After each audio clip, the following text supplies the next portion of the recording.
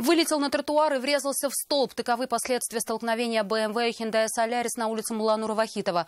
По предварительной версии, обе иномарки ехали в одну сторону. За рулем корейской иномарки находился гражданин Египта. Как он уверял автоинспекторов, водитель BMW стал обгонять его справа, задел и на высокой скорости вылетел в столб.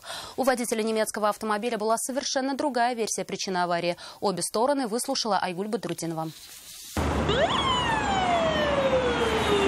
Сразу после аварии на место происшествия прибыли медики, но пострадавшего им пришлось искать. Водитель самостоятельно выбрался из разбитой БМВ и ушел на поиски записей с камер видеонаблюдения в ближайшие магазины. Фельдшеры оказали ему помощь на месте. От госпитализации мужчина отказался, так же, как и рассказать, как он врезался в столб. Как авария произошла? Расскажите, пожалуйста.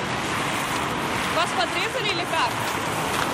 Гораздо разговорчивее мужчина стал после того, как на место происшествия приехали автоинспекторы. Отказать в объяснении им он не мог. Он поворачивает поворот, я в него, получается, и сюда улетел.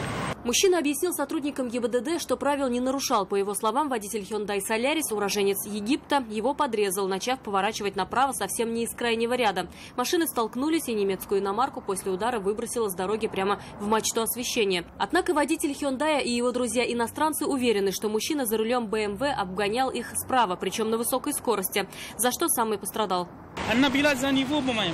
Да, и на очень большая скорость. После столкновения водитель Hyundai проехал дальше, а затем вновь вернулся на место столкновения. Кто из них прав, а кто виноват, предстоит установить автоинспекторам. Айгуль Бадрудинова, Нафиса Минязова, Наиль Абдулин, вызов 112.